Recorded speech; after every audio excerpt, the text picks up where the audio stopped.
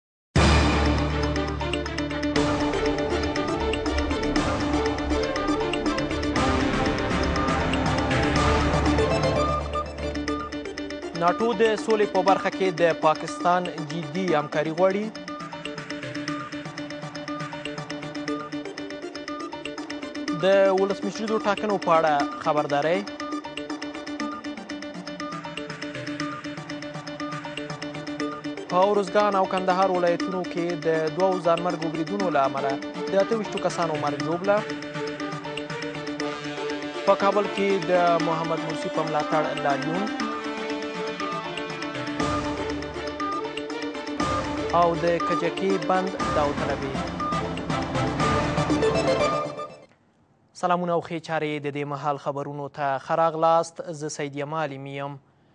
ناټو د افغانستان د سولې په خبرو اترو کې د پاکستان جدي همکاري غواړي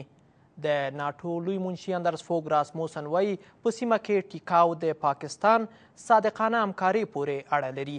اخوا د ناټو عمومي منشي یو وار بیا له افغان امنیتي ځواکونو ملاتړ وکړ د افغانستان د سولې د بهیر په خبرو کې د اسلام آباد پر مثبت رول د ناټو ټینګار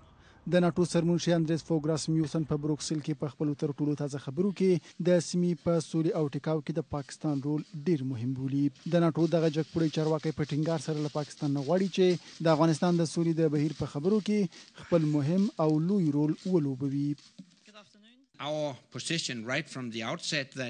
زموږ دریځ له پیله همدا دی چې موږ په سیمه کې د سولې او ثبات د ټینګښت لپاره د پاکستان مثبتې همکارۍ ته جدي اړتیا لرو او د پاکستان پوځ باید د افغانستان او پاکستان ترمنځ سرحدي سیمو کې له سخت دریځۍ او ترهګرۍ سره د مبارزې په برخه کې خپلو ډېرو او جدي هڅو ته دوام ورکړي. له همدې امله پاکستان کولای شي د افغانستان په یوه سیاسي بهیر کې عمده رول ولوبوي. د ناټو سرمنشي د سولې د خبرو اترو بهیر د دغه بهیر په افغاني کېدو پورې مشروط ګڼي.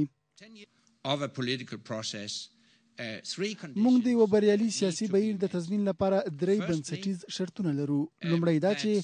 دا بهیر باید د افغانانو لخوا رهبري شي دویم هغه کسان چې په دې بهیر کې ښکیل دي باید د افغانستان اساسي قانون په تېره د بشري حقونو او د ښځو د حقونو تامین ته بشپړ درناوی ولري او درېیم دا چې او درېیم دا چې له دغه بهیر سره یوځای کېدونکي کسان باید له ترهګرو ډلو سره خپلې اړیکې پرې کړي. د ناټو سرمنشي د افغان امنیتي ځواکونو له خوا د امنیتي مسؤلیتونو اخیستل یو مهم ګام بولي او د دغو ځواکونو د وړتیاوو ستاینه کوي.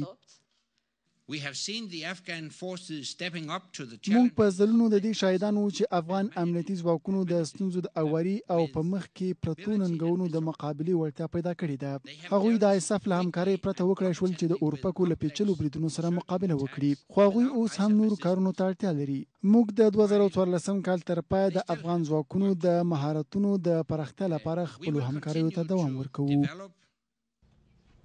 اخوا د ناټو سرمنشي یو ځل بیا ټینګار کوي چې ناټو به افغانستان یوازې پرېنږدي او په افغانستان کې به یو نوی څپرکی پرانیزي او په دې تازه فصل کې به ناټو د افغان ځواکونو د روزنې، مشوره ورکونې او له هغوی سره د مرستې په برخه کې خپل ناجګړیز ماموریت پیل کړي. په هېواد کې له طالباني تروریزم څخه یو ګاونډی هېواد ملاتړ کوي.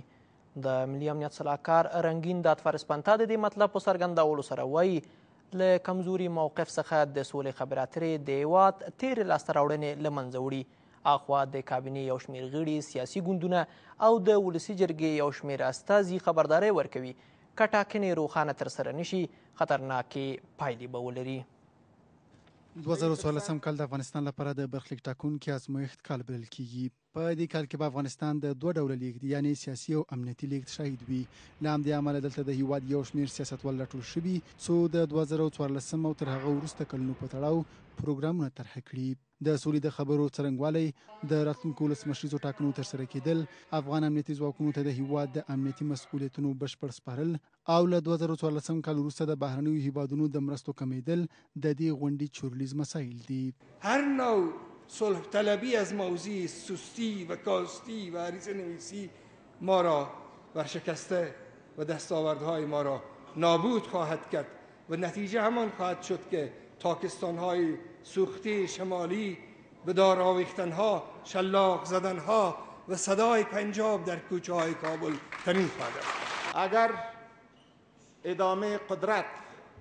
به منوال جاری به منوال موجوده ای ادامه پیدا میکنه به عین ترکیب و یا ترکیب یک کمک متغیرتر در او صورت خروج قوای ناتو از افغانستان باعث یک فاجعه امنیتی خواهد شد نیروهای امنیتی ما نیروهای دفاع ملی ما در اون حدی از توانایی نیستند که بعد از خروج نیروهای خارجی بتوانند از امنیت مردم از تمامیت ارزی کشور از استقلال کشور دفاع بکنند ما نیروی هوایی نداریم و امریکایی ها سریع به جنرال بسم الله محمد گفتند که ما اجازه نخواهیم داد در افغانستان ارتش متعارف ایجاد شود ارتش متعارف به معنی که ما برای شما بمب نمیدیم های سنگین نمیدیم موشک های سنگین نمیدیم افغانستان به یک کرتوش چریکی و پارتیزانه نیازمند است شغل اسپانتا د افغانستان پر متحد و هیوادونو هم نیوکه کوي وقتی برای ما تجاوزگری پناهگاه آموزش طالبان تمویل طالبان تحریک طالبان سربازگیری برای طالبان خطر اصلی برای امنیت ملی است و برای دیگران تنها القاعده خطر ملی است این نشان میدهد که ما با متحدان خود در اصلی ترین نقطه دوچار دوگانگی شدیم تا زمانی که آرمان مشترک استراتژیک وجود نداشته باشد تدوین هر نوع استراتژی دفاعی و مشترک دفاعی بیمعنی و بیمفهوم خواهد بود له دې ټولو سره سره د ملي امنیت سلاکار وایي چې له 2014 کال او له هیواد نه د ټولو بهرنیو ځواکونو تر وتلو وروسته به د حکومت یوولس کلنې لاسته راوړنې د بریدونو نښه وګرځي او باید د دغو لاسته راوړنو د ساتلو لپاره مبارزه وشي. په ارزګان ولایت کې د یو ځانمرګي برید له امله دولس تنه وژل شوي او پنځه نور ټپیان دي. د ارزګان د والي ویاند وایي دغه پیښه نن له غرمې وروسته د دوو بجو په شاوخوا کې د دې ولایت په مرکز ترینکوټ ښار کې هغه مهال وشوه چې یو ځانمرګي برید کوونکي د پولیسو مرکز سره خپلو چاودیدونکو توکو ته چاودنه ورکړه. نوموړی زیاتوي چې ډیری وژل شوي کسان پولیس سرتیري دي. په کندهار ولایت کې د یو ځانمرګي برید له امله د یو سرحدي پولیس په ګډون دوه تنه وژل شوي او اته تنه نور ټپیان دي. د کندهار د والي ویاند وایي دغه پیښه نن سهار د نهو بجو په شاوخوا کې د دې ولایت په سپین بولدک ولسوالۍ کې هغه مهال وشوه چې یو ځانمرګي برید کوونکي د افغانستان خاورې ته په ننوتو سره خپلو چاودیدونکو توکو ته چاودنه ورکړه نوموړی زیاتوي چې په ټپیانو کې یو سرحدي پولیس هم شامل دی په تیرو لسو کلونو کې د هیواد په شمال ختیځو سیمو کې څه باندې یو نیم زره کسان د ماینونو او چاودیدونکو توکو له امله یا وژل شوي او یا هم د خپل بدن غړي له لاسه ورکړي دي په شمال ختیځو سیمو کې د ماین پاکونې چارواکي وایي د بدخشان ولایت لس ولسوالۍ د ماینونو لشتونه پاکې شوي دي لا هم په هېواد کې خلک د تېرو جنګونو د پاتې شونو قربانیان دي. زه او زما همکار نوید احسان د هېواد د شمال ختیځ زون د ماین پاکۍ د ادارې له کارکوونکو سره د بدخشان ولایت ځینو سیمو ته ځو. دا هغه سیمې دي چې د تېرو کلونو په جګړو کې زیانمنې شوې دي. دا مهال ګهیځ دی او د ماین پاکۍ د ادارې کارکوونکي د ماینونو د موندلو لپاره دغو ځایونو ته ځي. خو د هغو سیمو د لیدلو لپاره چې ماینونه پکې دي باید د دغه غره سر ته پورته شو. ماین پاکان وایي چې په هغو ځایونو کې چې سره رنګول شوي د ماین خطر شته دی، خو زرغون او سپین رنګ له ماینونو د پاکو شویو برخو نښې دي. بالاخره د دغه غره سر ته ورسیدو او د ماین پاکۍ د ادارې کارکوونکي په بیلابیلو برخو کې د ماینونو د موندلو په هڅه کې دي ان دا چې د ماینونو او نا چاوده توکو د پیدا کولو لپاره له سپیو هم کار اخلي. مولا خیلی ماین داشته وقتا که بودی برایش رفتن نمیتونستی هیچ مولام تیر شده نمیتونی خود مانه دولت قلخش میت بخش نمیشه که نفر من مرد مول من مرد برادر تمام زندگیمون رفت این اول و پاک کس مول مون به میچر اخر مون میریم. په هغو ځایونو کې چې نور نو ماینونه پکې نشته د خلکو ژوند پرمختګ کړی دی او ظاهراً له ویرې پرته خپل کارونه کوي. نظر به ارقام که سیستم معلوماتی ما داریم و ثبت شده تا ایل حال اضافه تر از پانزده صد نفر در زون شمال شرق از اثر مین ها و مهمات منفجر ناشده یا کشته و یا مجروح گردیده است. د ماین پاکۍ د ادارې کارکوونکي وايي چې د دغو ماینونو د چاودنو له امله د هېواد ډېرو وګړو ته مرګ ژوبله اوښتې ده. بهارک، جرم، خاش، کشم، شهدا، شهر بزرگ، تشکان، یختل، درایم و یوان فعلا از وجود ماینها و مهمات منفجرناشده شناخته شده پاک هستند. د ماین پاکۍ ادارې د اوو کلونو په لړ کې د بدخشان ولایت لس ولسوالۍ له ماینونو پاکې کړې دي. ده ولسوالی را آری از مین تسلیم شده و ان شاء الله طبق پلان انکشافی که ما در ولایت ساختیم در این ولسوالی ها مطابق هم پلان انکشافی ان شاء الله برنامه های انکشافی روی دست گرفته میشه. د بدخشان والي وايي چې ډېر ژر به په هغو ولسوالیو کې پراختیايي پروګرامونه پیل کړي چې له ماینونو پاکې شوې دي. د هېواد په شمال ختیځ کې د ماین پاکۍ اداره وايي چې دوی د هېواد په شمال ختیځو سیمو کې خپل پروګرامونه پنځه اویا په سلو کې پلي کړي دي او په دغو سیمو کې یوازې پنځه ویشت سلنه پروګرامونه پاتې دي.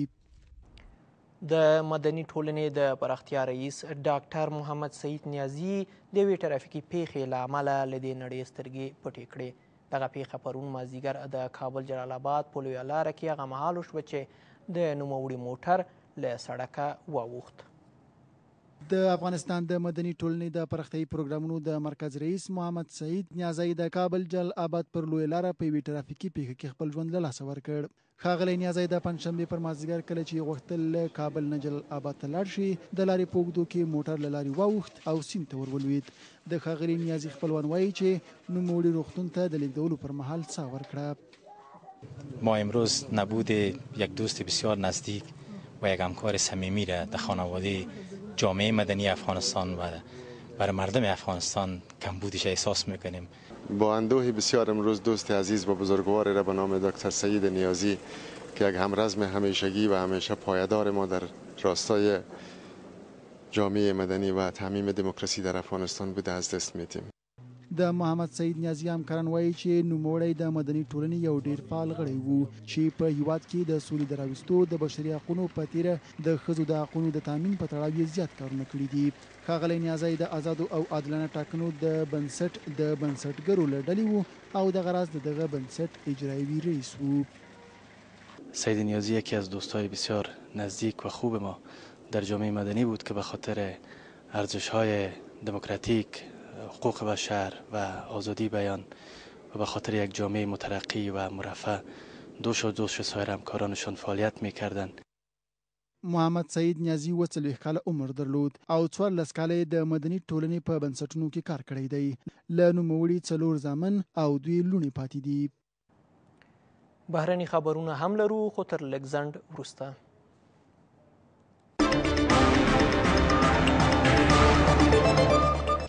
بیا هم ښه راغلاست. په مصر کې د اعتراضونو په دوام کې د ناټو لوی منشي په دې هیواد کې د ملکي حکومت پر جوړېدو ټینګار کوي. نوموړی له دواړو لورو غواړي څو له زغمه کار واخلي. اخوا په کابل کې هم یو شمېر ځوانانو د یو لاریون په ترڅ کې له محمد مرسي څخه ملاتړ وکړ. د مصر د نارامیو دوام د ناټو سرمنشي سخت اندېښمن کړی دی. د محمد مرسي د پلاویانو د اعتراضونو له دوام سره هممهاله د ناټو سرمنشي په مصر کې د یو ډیموکراټ او ټول شموله ملکي حکومت جوړېدل یوه اړتیا بولي. اندریس فوګ راسمیوسن مصر د ناټو یو مهم متحد بولي او وایي چې دی په کره توګه د مصر حالات څاري. موږ په مصر کې په ټولو ښکېلو خواوو ټینګار کوو چې د یوه ولسواک او ټول شموله ملکي حکومت په جوړولو کې ژر تر ژره لاس په کار شي.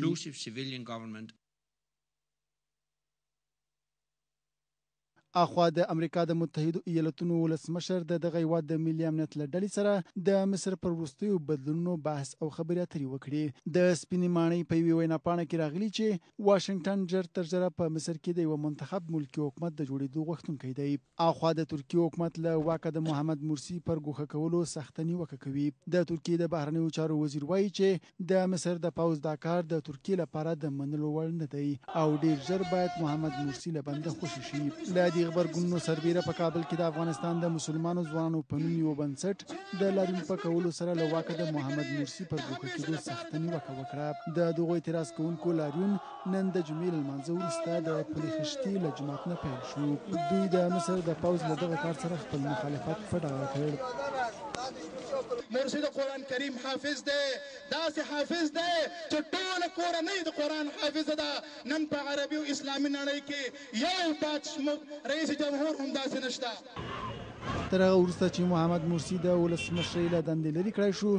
د مصر د اساسي قانون د سترې محکمې رئیس عدلي منصور د دغه هیواد د لنډمهالي ولسمشر په توګه لوړه وکړه. که څه هم نوموړي ژمنه وکړه چې ټاکنې د خلکو د رښتینې ارادې پر بنسټ ترسره کوي، خو لا هم روښانه نه ده چې د محمد مرسي د پلویانو لاریونونه به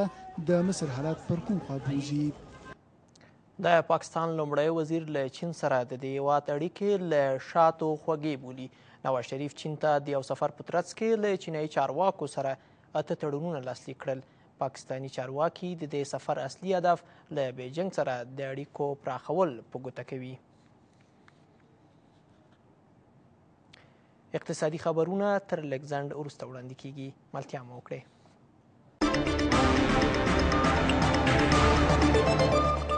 دا هم څو اقتصادي خبرونه د برښنا شرکت چارواکي وایي د کجکې بند بیا رغولو کار د یاد شرکت لخوا داوطلبې ته وړاندې شوی دی د برښنا شرکت سوداګریز مرستیال وایي دوی داسې یو شرکت لټوي چې پوره وړتیا ولري د سوداګرۍ او صنایع د وزیر په وینا په هیواد کې بیکاري، بیوزلي، د سوداګرۍ راکموالی او په هیواد کې د ځمکو د بیې ټیټوالی د اقتصادي ستونزو لامل شوی دی. ما فعلا هم بعض اثرات منفی خروج قوای بین المللی را میبینیم ما میبینیم که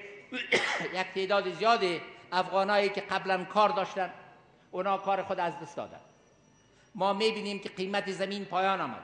بله خوا د سوداګرۍ او صنایعو وزیر پر مرسته کوونکو په نیواکې سره وایي چې په تېرو یوولسو کلونو کې له ټولو مرستو څخه اتلس سلنه یې د هیواد اقتصاد ته اغېزمنه وه او پاتې مرستې سربېره پر دې چې د افغانستان خلکو ته یې ګټه نه ده رسېدلې د لګولو څرنګوالی هم څرګند نه دی.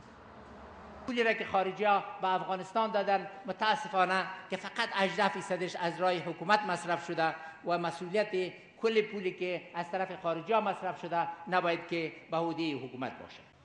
دا په داسې حال کې ده چې تر دې وړاندې د اقتصاد وزیر ویلي و چې له هېواده د بهرنیو ځواکونو په وتو سره به په هېواد کې اقتصادي ستونزې رامنځته نه شي او ان د زیاتو کاني سرچینو په لرلو سره به د هېواد اقتصاد پیاوړی شي.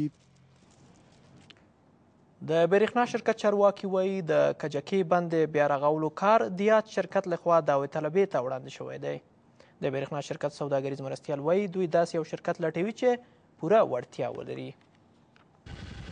د کجکي بند له هغو پروژو څخه دی چې له اتو کلونو راهیسې د هغه بیا رغونه دوام لري او اوس هم ویل کېږي چې دا پروژه یوه ناکامه پروژه ده چې د اتو کلونو په تېرېدو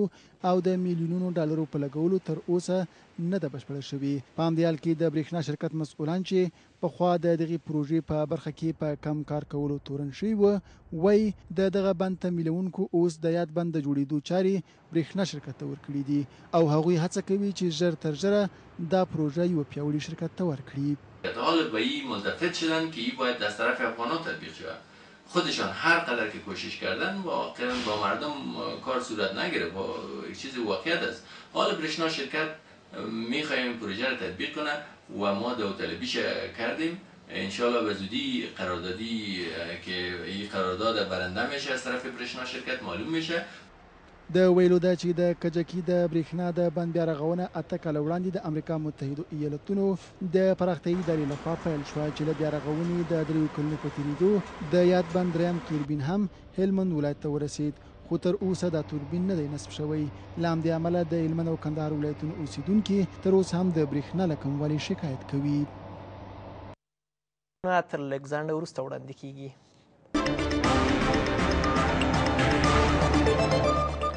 د سنوکر د اسیایي سیالیو په دوام کې صالح محمد صالح په انفرادي برخه کې څلور د یو په وړاندې خپل کوریایي سیال ته ماتې ورکړه او ټاکل شوې نن شپه له یو هندي لوبغاړي سره لوبه وکړي اخوا رئیس خان سنځي څلور د یو پر وړاندې د ایراني لوبغاړي څخه ماتې ومنله د ویلو ده چې یادې سیالۍ په سویلي کوریا کې روانې دي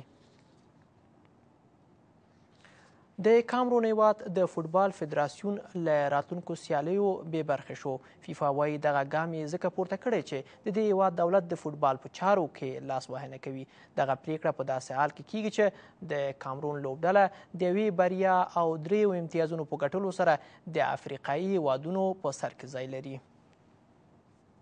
اوس هم پام وکړئ د هوا حالاتو ته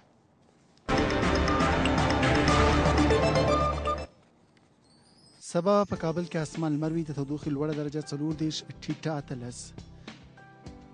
په مزار شریف کې به اسمان لمرین وي د تودوخې لوړه درجه 9 دیش ټیټه وویشت په کندهار کې به اسمان لمر وي